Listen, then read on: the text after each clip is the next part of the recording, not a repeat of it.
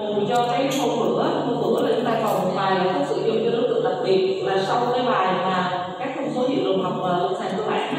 thì lẽ ra mình học bài này.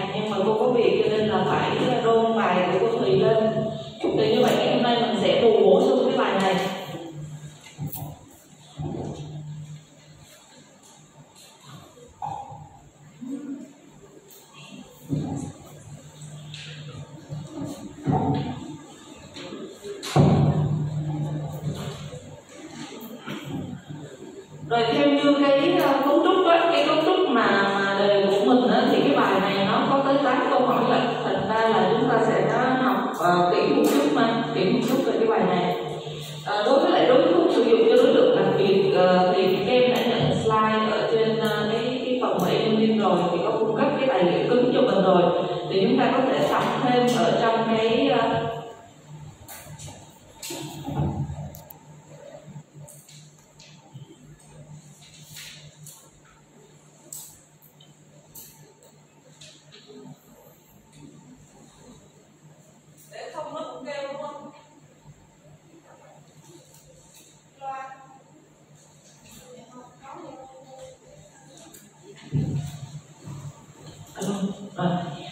Ờ, trong cái phần slide slide bài giảng ở trong cái tài liệu Word đó, thì em có thể coi thêm để mà mình nắm một số các cái nội dung chi tiết. Thì bài này là tương đối là uh, dài nhưng mà nó cũng quan trọng. Ờ, như vậy là trong cái phần mà ờ, lâm sàng đại cương cũng như là các cái thông số dự lượng học cơ bản thì chúng ta đã học được một số các cái à, à, đặc điểm của thuốc khi mà nó à, chúng ta sử dụng thì thuốc khi sử dụng thì chuyển qua các cái giai đoạn mà hấp thu phân phối chuyển hóa và thải trừ và tương ứng với các cái giai đoạn dược lượng học đó thì chúng ta có các cái thông số cơ bản ví dụ như là vệ sinh thể dục thể tích phân phối biểu kiến thể số thành thải à, rồi cái thời gian bán thải à, đúng không rồi trong cái phần mà kiểm tra những kỳ á, thì chúng ta có một cái công thức nó liên quan đến mối liên hệ của các thông số này với nhau à, và chỉ có một cái công thức đó thôi à, tuy nhiên là cũng rất nhiều bạn là lát chưa đúng à, à, nhiều bạn là lát chưa đúng lưu ý là trong cái bài đó quan trọng nhất có cái công thức đó thôi à, à thì nó thể hiện được là cái sự liên quan à, giữa các cái à, thông số dự đồng học cơ bản nó liên quan với nhau như thế nào à, còn những cái phần khác ví dụ như là định nghĩa khái niệm đặc điểm vân vân thì các em hoàn toàn có thể chúng ta sẽ đọc à, ta đọc và chúng ta học theo kiểu học nhớ à, như vậy đó là đối với những cái đối tượng bình thường à, đối tượng bình thường thì nó sẽ trải qua các cái giai đoạn như vậy như vậy với một số cái đối sao? À, đối tượng đặc biệt thì trước đây á, thì chúng ta có đưa cả cái đối tượng đó là những người mà bị tổn thương chức năng gan và chức năng thận vô luôn. Tuy nhiên mà sau này theo định nghĩa mới á, thì chúng ta tách ra. À, chúng ta không có đề cập đến hai đối tượng này. Hai đối tượng này được coi là những người bất thường về bệnh lý mà chúng ta chỉ còn giữ lại những đối tượng khác biệt về mặt sinh lý thôi. Thì thứ nhất đó là trẻ nhỏ. À, trẻ nhỏ hay gọi là trẻ em. Thứ hai đó là người lớn tuổi. Thứ ba đó là phụ nữ mang thai. Và thứ tư đó là phụ nữ trong thời kỳ nuôi con bằng sữa mẹ à, thì như vậy chúng ta có bốn cái đối tượng mà chúng ta gọi là đặc biệt. Như vậy ở bốn đối tượng này các cái giai đoạn hấp thu phân phối chuyển hóa thải trường nó cũng xảy ra. Tuy nhiên nó sẽ có một số cái đặc điểm lưu ý. Một số quá trình sẽ tăng lên một số quá trình sẽ giảm xuống. À, làm ảnh hưởng đến cái điều cuối cùng là tác dụng hay là hiệu lực của thuốc à, đó chính là lý do vì sao chúng ta phải học bài này như vậy trong cái bài này thì các em sẽ đạt được hai mục tiêu mục tiêu thứ nhất là các em sẽ giải thích được những cái biến đổi đặc trưng về dược động học ở bốn đối tượng đặc biệt này à, nhớ là người lớn tuổi trẻ em phụ nữ mang thai và phụ nữ đang trong thời kỳ nuôi con bằng sữa mẹ như vậy chúng ta có bốn đối tượng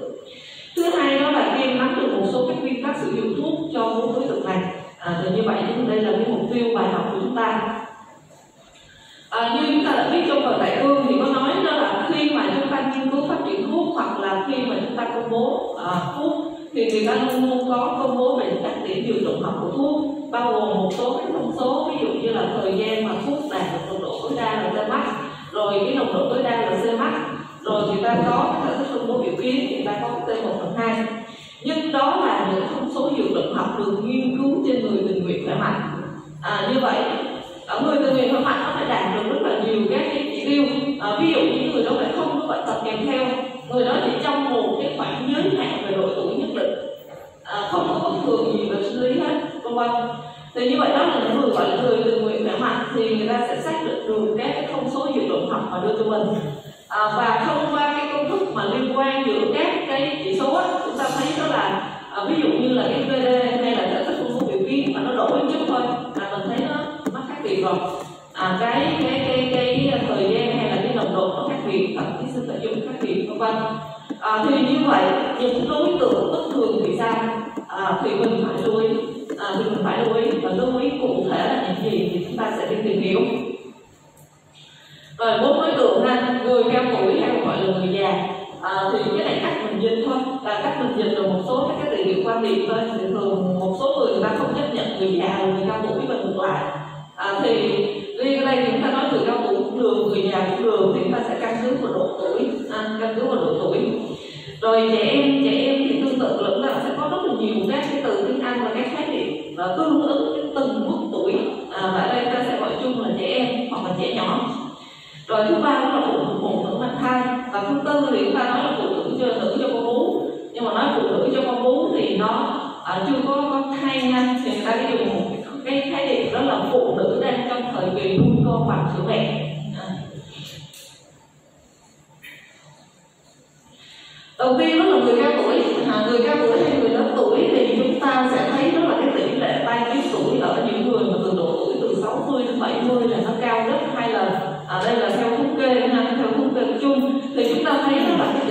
Primary and Old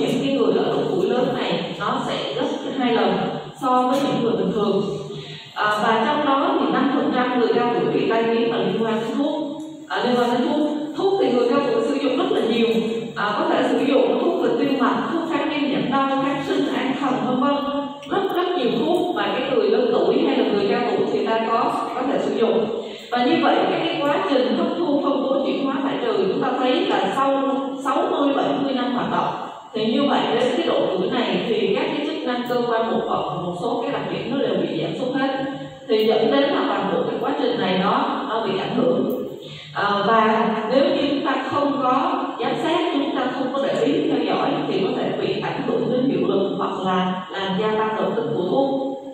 Đầu tiên đó là cái quá trình hấp thu. À, quá trình hấp thu thuốc thì chúng ta thấy à, đây là cái cái diện tích dưới đường cong AOC rất là đặc trưng để biểu thị cho quá trình hấp thu. Quá trình hấp thu thì chúng ta sẽ có hai đại lượng đại lượng thứ nhất là thời gian để thuốc đạt được nồng độ tối đa và cái nồng độ tối đa ở trong ở trong trong huyết tương hay là trong máu.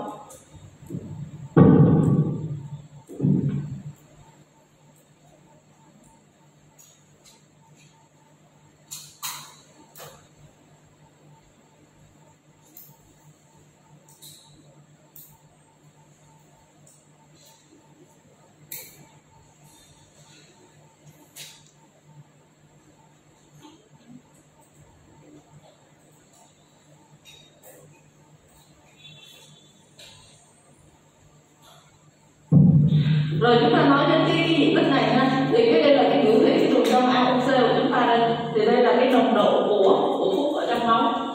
À, như vậy thì trong trường hợp chúng ta thấy nếu như trong trường hợp mà cái thời gian T max này nè nó kéo dài ra tức là cái quá trình hấp thu nó bị ảnh hưởng. À, ví dụ như ở những người lớn tuổi chúng ta thấy đó là cái sự tuần hoàn máu đến các cơ quan tiêu hóa của thụ đông nó bị giảm sút và chúng ta biết là thuốc mà hấp thu qua đường tiêu hóa thì chủ yếu là nằm ở thụ đông nhờ đường máu trao đổi ở đây rất là dồi dào cũng như là cái diện tích tiếp xúc lớn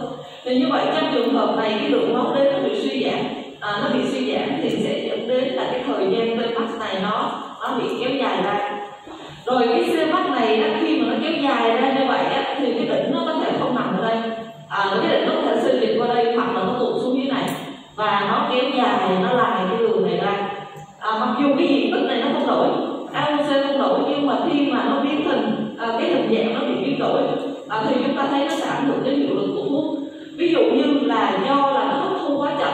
hấp thu quá chậm dẫn đến là cái cơ mắt nó không đạt được cái đỉnh là nó công hai này nó chỉ ở số 1 thôi hoặc là một trên năm thôi nằm đâu đây thôi thì chúng ta thấy rõ ràng là hiệu lực của thuốc bị bị thay đổi hay là tác dụng của thuốc bị thay đổi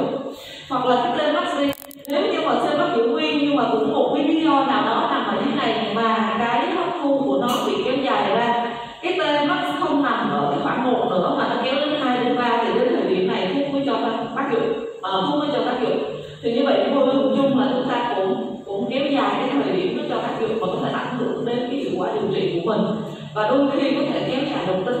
là do ông ta không biết à, ông ta không biết ông thu nhập như vậy. À, thì đó là một trong những cái cái ảnh hưởng.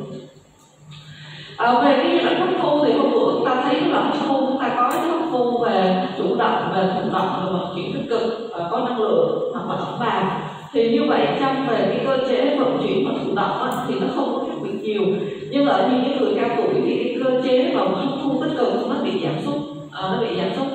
À, tích cực thì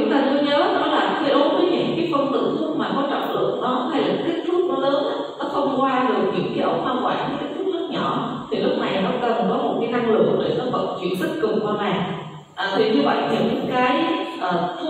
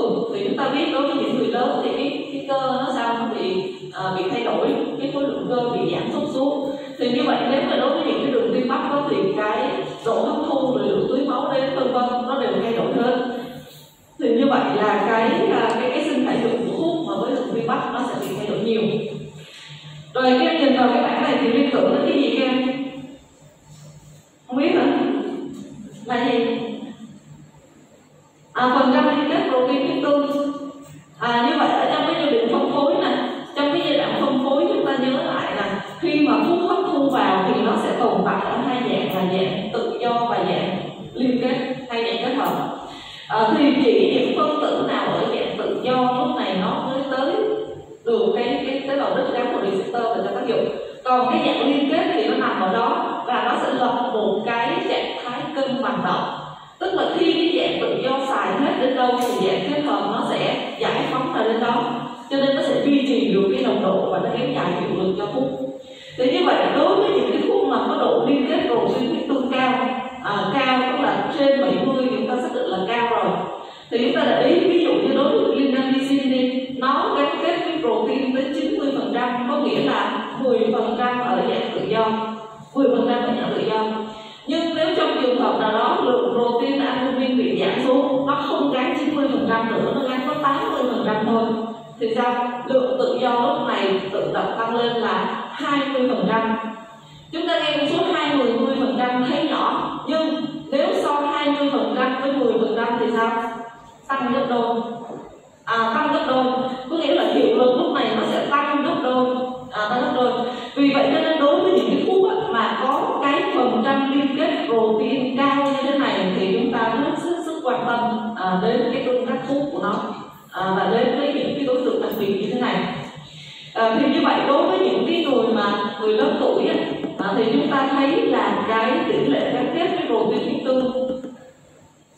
À, cái cái cái nồng độ albumin huyết tương giảm.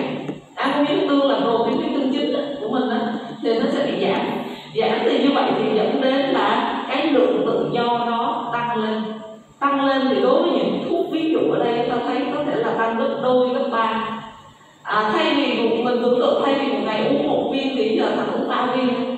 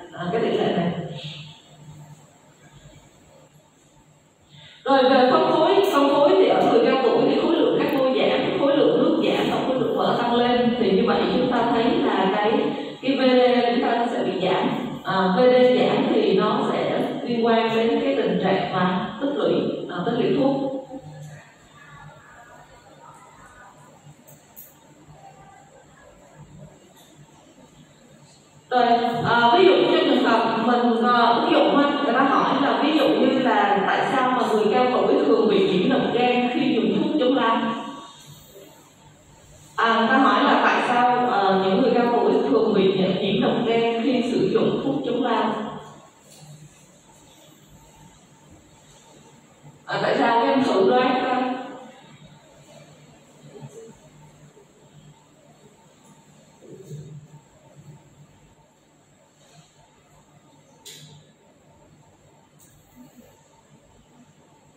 như vậy đối với những cái thuốc chống lao mà kem học á, thì chắc năm ngoái các còn nhớ sơ sơ là có học thuốc chống lao đúng không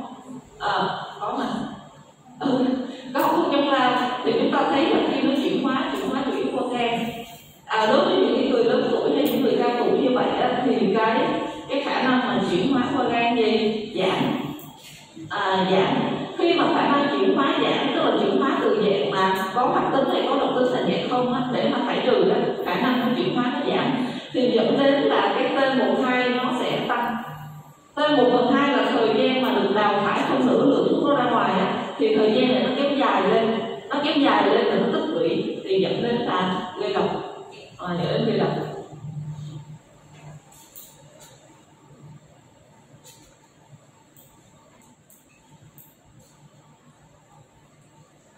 rồi một số cái cái phần mà chúng ta phân tích thêm về cái dòng máu qua gan khi mà dòng máu qua gan giảm thì dẫn đến là cái à, sự chuyển hóa thuốc qua gan à, cũng sẽ giảm theo, hay là clearance gan á chúng ta nhớ clearance cộng phần thì thường bằng clearance gan cộng thận và các cơ quan khác trong đó thì ở gan là chiếm à, chiếm chủ yếu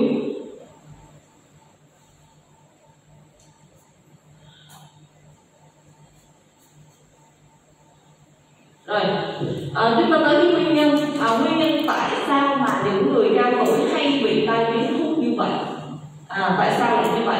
thì thứ nhất là chắc chắn là do người ta dễ mắc bệnh rồi thứ nhất đó là đối với những người dù khỏe cách mấy nhưng mà do ảnh hưởng của thời gian và dấu hiệu lão hóa do tuổi tác thì đến một giai đoạn nào đó thì người ta cũng sẽ mắc bệnh bệnh này thì có thể là do các khiếm khuyết ở trong cơ thể sau một thời gian các cái cơ quan bắt đầu suy giảm chức năng đi và nó bắt đầu biểu hiện ra cái tình trạng bệnh lý, hoặc có thể do cái điều kiện bên ngoài nó tác động vô. Khi điều kiện bên ngoài tác động vô, mà cơ thể không đủ sức để chống trả lại thì dẫn đến cũng là tình trạng bệnh lý thì như vậy đầu tiên là người ta dễ mắc bệnh cái thứ hai là dễ mắc nhiều bệnh mãn tính cùng một lúc à, thì nếu như em nào mà đi thực tập bên khoa lão thì chúng ta thấy là đa số các bệnh nhân đi vô là cái đơn thuốc cũng dài đúng không hiếm có bệnh nhân nào mà đã nhận cái đơn thuốc là dưới năm thuốc á à, lúc nào cũng năm thuốc tám thuốc thậm chí có cái đơn lên đến 10 thuốc à, thì không phải là chữa một bệnh mà chữa nhiều bệnh à, có nhiều người ví dụ vừa tăng huyết áp vừa rối loạn là gì à, vừa vừa vừa vừa đái tháo đường vừa rối loạn lipid máu vừa bị viêm khớp vừa bị đau dạ dày vừa bị tim mạch vừa bị đủ kiểu anh. Là cái phần chẩn đoán phần thuốc của các cái bệnh nhân lớn tuổi chúng ta thấy nó rất là nhiều. À, thì như vậy thì nó sẽ dẫn đến cái sự tương tác giữa các thuốc này à, tương tác giữa các thuốc này. Và cộng với cái việc đó mà các cái đặc điểm chuyển hôn mối chuyển hóa tại trường của thuốc thay đổi nữa thì dẫn đến là rất dễ bị tai biến là do thuốc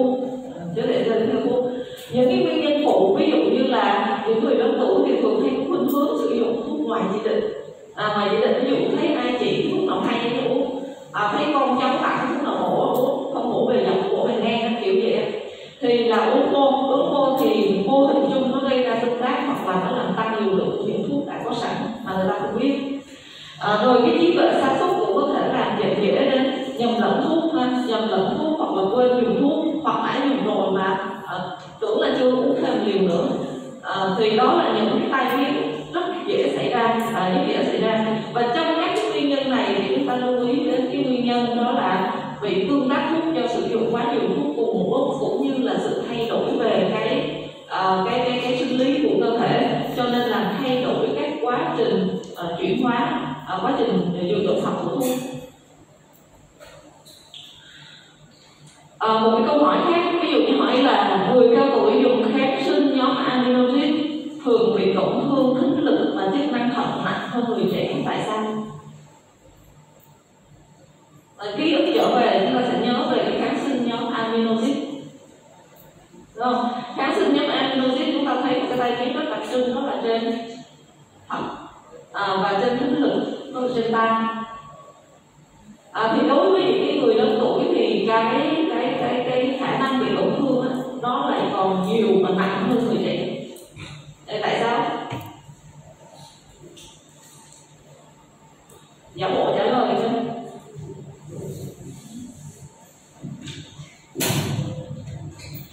cô em nghĩ là người à, cao tuổi thì cái chức năng đồ độc cầu thận họ giảm cho nên là cái, khi mà uống những cái sinh này vô thì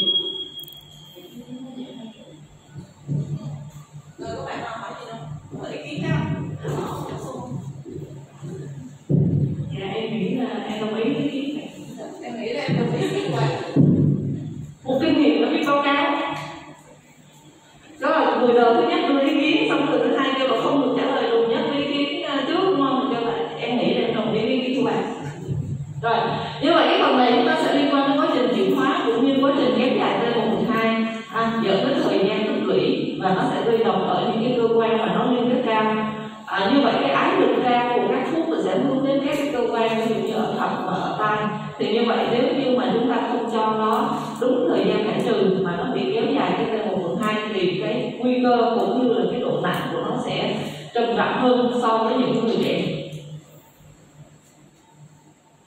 Rồi, chúng ta qua cái đối tượng thứ hai là trẻ em trẻ em.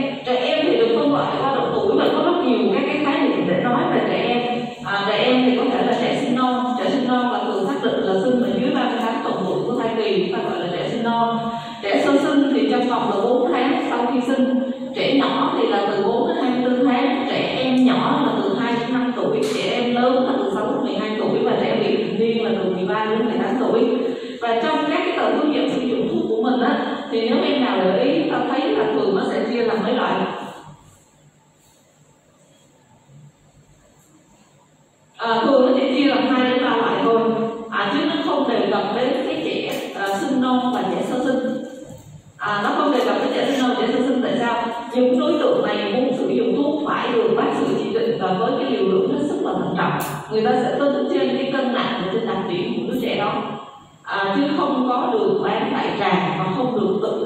Hơn. Vì vậy cho nên những cái tờ hướng dẫn sử dụng mà thuốc OTC các em mua ở ngoài á chúng ta thấy là không có ghi hai cái đối tượng này à, không ghi và thường người ta sẽ ghi ở cái giới hạn trung bình là 12 dưới 12 trên 12 hoặc từ 12 đến 18 thì đó là ở Việt Nam ha ở Việt Nam. Thì nếu mà mua thuốc điện tử khui cái tờ hướng dẫn sử dụng và đọc thử. À, đọc thử thì chúng ta sẽ thấy nó hướng dẫn là như vậy. Thì đối với lại trẻ em thì chúng ta chỉ lưu ý một cái đó là trẻ em không phải là người lớn thu nhỏ à, có nghĩa là khi chúng ta sử dụng thuốc cho trẻ không phải chúng ta cứ vẽ đâu viên thuốc ra là được. Không phải chúng ta cứ vẽ ba viên thuốc ra là được. Mà chúng ta phải lưu ý chung à, đến cái quá trình à, dược luận học